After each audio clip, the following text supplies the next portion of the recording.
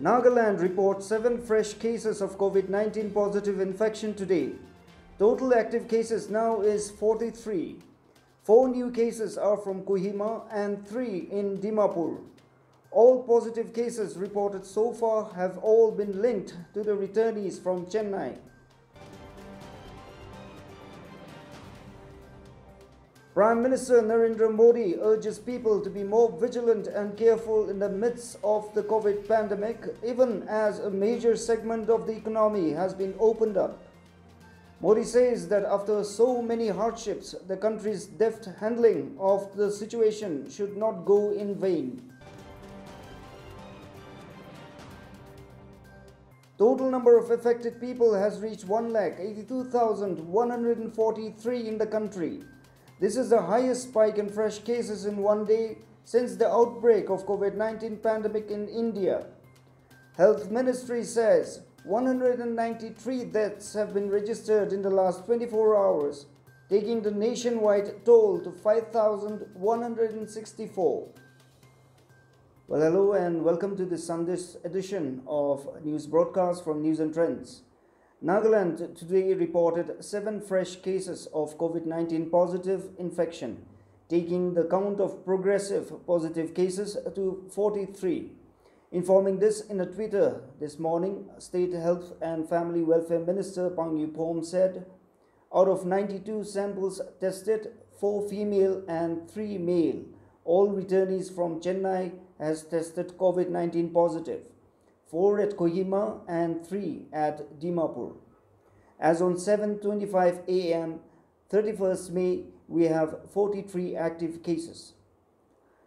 Accordingly, the total number of active cases in the state is 43. Overall, Dimapur has the highest number of cases at 25, followed by 13 in Kohima and 5 in Tuensang. So far, all the positive cases reported in the state have all been linked to the returnees from Chennai. Prime Minister Narendra Modi has urged people to be more vigilant and careful in the midst of the COVID 19 pandemic, even as a major segment of the economy has been opened up. Addressing the nation in his Ki Baat program on All India Radio this morning, the Prime Minister said train services have resumed, including the Shramik train specials and special trains.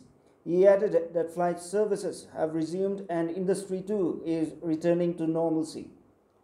He cautioned that there should be no laxity and people should maintain do gaj ki duri, wearing face masks and stay at home to the extent possible.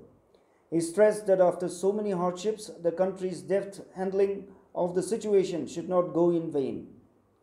Modi stated that the fight against corona is a reflection of resilience and collective efforts of the people. He pointed out how the country faced unique challenges with a vast population and yet corona did not spread as fast in the other parts of the world. He noted that the mortality rate of corona is a lot less in the country. The Prime Minister held the spirit of service shown by the people and called it the biggest strength.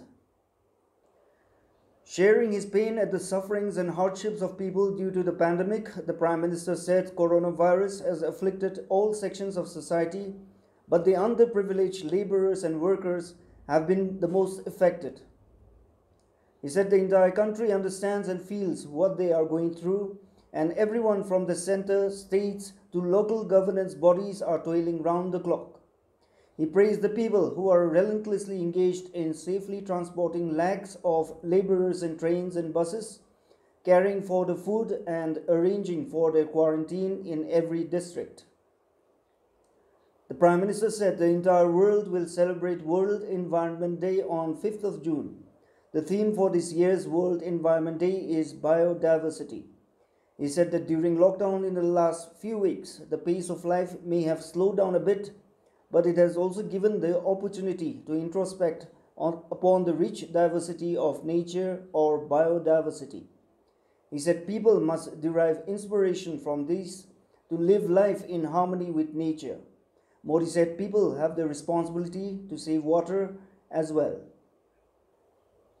The government has announced the first phase of nationwide unlock starting from tomorrow after the fourth phase of lockdown ends today. Except for the containment zones demarcated by the state and the union territory governments, the first phase of unlock for the remaining part of the country will begin from tomorrow. All activities have been allowed in green and orange zones from 5 in the morning till 9 in the evening except for few which will be opened in a phased manner starting from 8th of next month. Starting tomorrow, there stands no limitation on intra and interstate movements unless the state government decides otherwise. No separate permission or permits will be required starting from tomorrow for the both intra and interstate movement by citizens as per the central government guidelines. Starting from 8th of June, the doors of temples and other religious places will be open for the devotees. Hotels, restaurants, hospitality services and shopping malls will also see visitors from 8th of next month after around 75 days of closure as per the standard operating procedures finalized by Health Ministry. Educational institutions including schools, colleges, coaching institutes will remain closed till 30th June and decision on the reopening will be considered after consultation of all stakeholders. International air travel, except those permitted by the government, metro rail, cinema halls, gymnasiums, swimming pools, entertainment parks, theaters, bars, auditoriums, assembly places, and any large congregation, include, including religious, will continue to remain prohibited nationwide. However, the state governments can impose larger restrictions than those proposed by the center as per the assessment. Containment zones will, however, remain under complete lockdown till 30th June, barring the essential activities. Vulnerable persons in terms of COVID infection, those above 65 years of age, persons with comorbidities, pregnant women, and children below the age of 10 years are advised to stay at home. Home Ministry has also advised everyone to install Aarogya Setu app in their mobile phones for helping India's fight against the global pandemic. Health and Family Welfare Ministry has said that a total of 86,984 people affected with the novel coronavirus have been cured and the recovery rate has reached 47.75% in the country. During the last 24 hours, 4,614 people have been cured and 8,380 fresh cases of COVID 19 infections have been reported. Total number of affected people have, has reached 1,82,143. This is the highest spike in fresh cases in one day since the outbreak of COVID-19 pandemic in India. Health Ministry said 193 deaths have been registered in the last 24 hours, taking the nationwide toll to 5,164.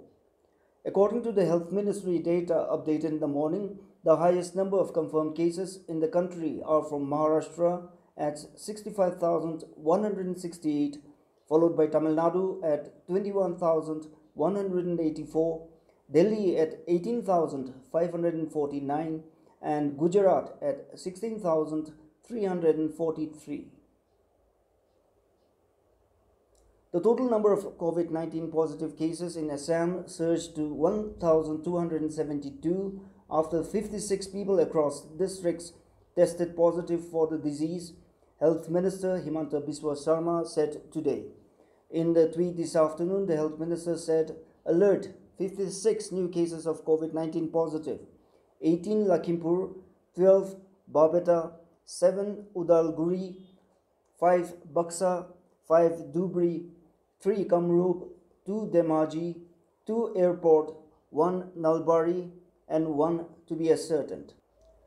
Of the total cases, currently 1,102 affected persons are receiving treatment in the state, while 163 patients have so far recovered from the infection, 4 have succumbed to the viral disease, and 3 have migrated out of the state. Global COVID 19 cases reached 60 lakh 60,523 with over 3 lakh 69,135 lakh dead. In terms of total number of confirmed cases, the United States is the worst hit with 17 lakh 70,384. The US also tops the number of deaths with 1 lakh 3,781. In terms of cases, Brazil comes in the second place with 4,98,440 infections. This was followed by Russia with 3,96,575. Regarding fatalities, the UK continues in the second position after the US with 38,243 COVID 19 deaths. 28,834 deaths have been reported in Brazil. APC and Dimapur in charge of COVID-19, Waikikheto Sema, today visited the institutional quarantine center at Livingstone Foundation International and interacted with the management and inmates there. Kikheto spoke of the challenges that Dimapur district administration is being faced to contain and address issues relating to the pandemic. He said he has been in Dimapur for the past two months to oversee the matters pertaining to the issues and that he has learned a lot through these experiences. The APC said though some of the returnees have left the source of earning and workplaces outside the state, he encouraged them by saying that the government is trying its best to rehabilitate them by way of opening up jobs through entrepreneurships. He also informed the quarantinees that swab tests for them have not been conducted as the tests for the Chennai returnees have still not been completed and also that none of them present at the LFI quarantine center have so far shown any symptoms of the viral infection. During the course of the interaction, proper social distancing and other health protocols were maintained. Medical Khan, ifala kam kure Khan loko bibi du moina. Ami kohimate be du moina আপুনি খান আহিবৰ কাৰণে এইটো পূৰা এৰেঞ্জমেণ্টে চাই কেনে বহাই আছে আজি ফৰ্চ কোৱাৰেণ্টাইন চেণ্টাৰতে আহিব পাৰেতো ঈশ্বৰকে বেছি ধন্যবাদ দিয়া আছে Popular Naga songwriter and artist Alobo Naga also enthralled the residents of the quarantine center with his performance. The center is being run and managed by the Western Sumi Hoho, the Western Sumi Baptist Akukuho Kakakulu, in collaboration with the Dimapur District Administration. beautiful horizon on the sea. A taste of my freedom on that cross. My shackles removed and the whole world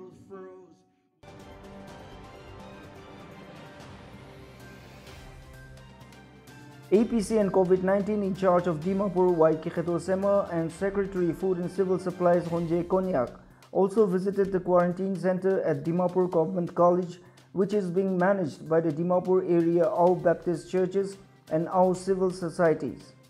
The officers visited the infrastructure there where facilities have been made to accommodate 300 persons at the center.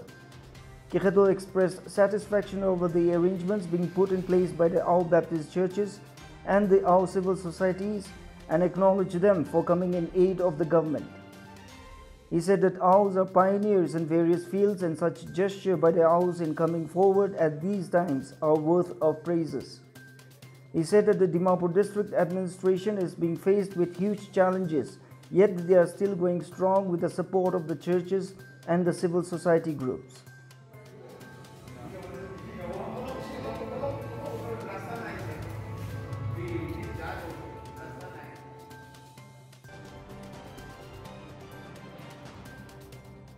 The Dimapur District Core Committee DDCC on COVID-19 headed by Waikikheto Sema, APC and Commissioner and Secretary held a meeting at Hotel Saramati yesterday to discuss the decision of the state government on testing all returnees and to send them to the respective districts only after testing results were confirmed. DDCC, however, pointed out that it was facing practical difficulties since there were only one BSL-3 laboratory installed in Kohima having limited capacity and so testing all returnees would take a long time. The DDCC said there are many returnees from other states who have completed the mandatory 14 days institutional quarantine period. At the present rate, DDCC said it would not be possible to test all returnees who don't show any symptoms since the focus remained on Chennai returnees. It stressed that unless all returnees who have completed the 14 day mandatory quarantine were not released, it would not be possible to accommodate fresh returnees. In the light of the above, DDCC at its meeting suggested that all returnees who have completed 14 days quarantine and shows no symptoms be allowed to go to the respective districts without further mandatory testing, while those from Dimapur be released to undertake home quarantine.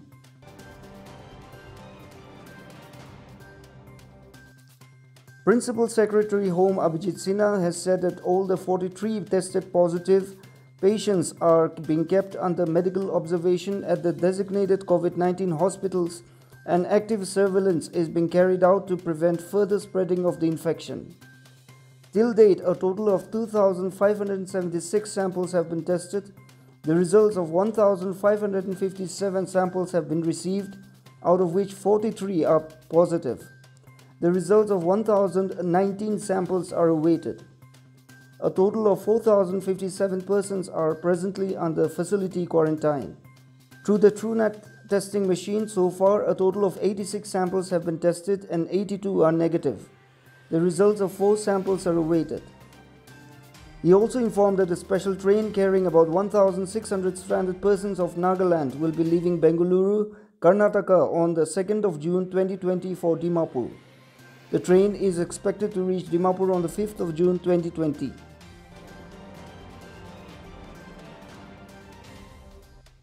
In order to take stock of the district to contain the spread of COVID 19, Advisor Industries and Commerce Imna Tiba, who is also the legislator in charge of Longleng, visited the district yesterday and held emergency meeting with District Task Force COVID 19 at the War Room, DC office, Longleng. Addressing the district task force, Imna lauded the medical fraternity, district administration, police, NGOs, churches, and other frontline workers who are constantly rendering the services to contain and control the spread of COVID 19 in the midst of various obstacles and criticism. Imna Tiba informed that the state government has decided to install TrueNat machine in every district and is expected to reach by the second week of June. He also informed that posting of anesthesia doctor for Longleng will report shortly in the district. That brings us to the end of this broadcast. Do subscribe to us on the YouTube channel and also follow us on Twitter and Facebook as well. Remember to stay home, stay safe, and take good care of yourself. From all of us here, it's bye for now, and thanks for watching.